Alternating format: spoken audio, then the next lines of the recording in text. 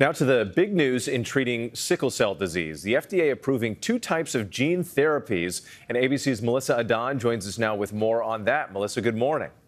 Good morning, Whit. It's pretty remarkable. Look, the president supporting the FDA approval of the first two breakthrough therapies for sickle cell disease. Now, some researchers really calling the treatment a functional cure for many patients. Sickle cell is a genetic condition that affects approximately 100,000 Americans, primarily black Americans with African ancestry and Hispanic Americans. One of the new treatments will use a gene editing technique called CRISPR, the first approval of its kind. And the other uses an older gene therapy, which has the ability to remove and then replace highly specific sections of DNA. The process is difficult and expensive, with patients undergoing chemotherapy to prepare, which may even jeopardize fertility. But an encouraging sign is that patients will only need to receive the treatment just once over the course of their lifetime, and that's really raising hopes for treating other diseases.